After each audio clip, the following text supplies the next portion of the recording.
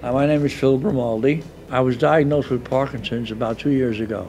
I've been coming to the program for about two weeks. I come to the program because I'm afraid of it getting worse.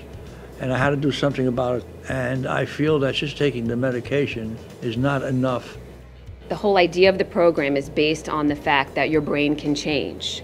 We're recalibrating and resizing their movements so it really is repetition, repetition to make it feel normal. Either you go big or you go home. I'd rather go big and hang out.